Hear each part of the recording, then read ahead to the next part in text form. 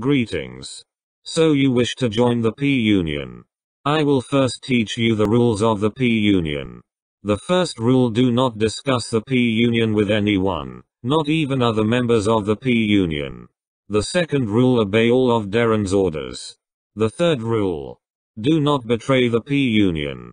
The fourth rule. Never ask what the P Union stands for. Those are just the basic rules. You will learn more as you rise in the ranks. This is Gav. He will be watching over you while you begin the process of joining the P Union. Yes, I will be keeping my eye on you for the next month or so. You're making a big mistake joining this thing. Come with me and I can protect from them.